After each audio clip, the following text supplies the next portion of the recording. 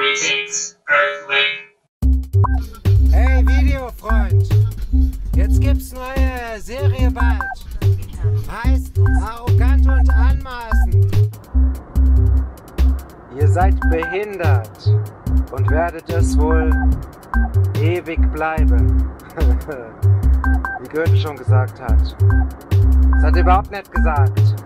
Fake News. Ihr müsst mal gegenchecken, ey. Könnt euch nicht irgendwelche Scheiße erzählen lassen.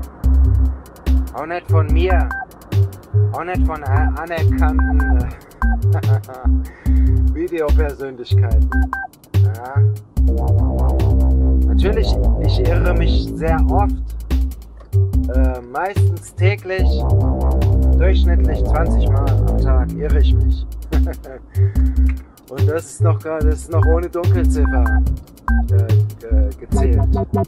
Also Freunde, selber denken. Selber denken ist angesagt. Ja. So wie der Buddha hat es auch gesagt. Nee, nee, nicht, nicht mir einfach nur glauben und nachlabern. Selber prüfen. An der eigenen Verstandeskraft. Wenn man sie denn besitzt.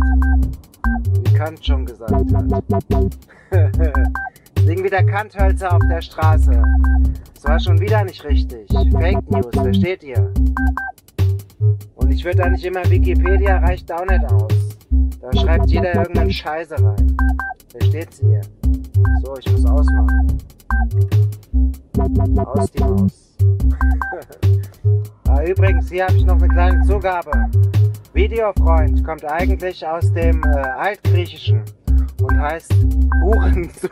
Hurensohn.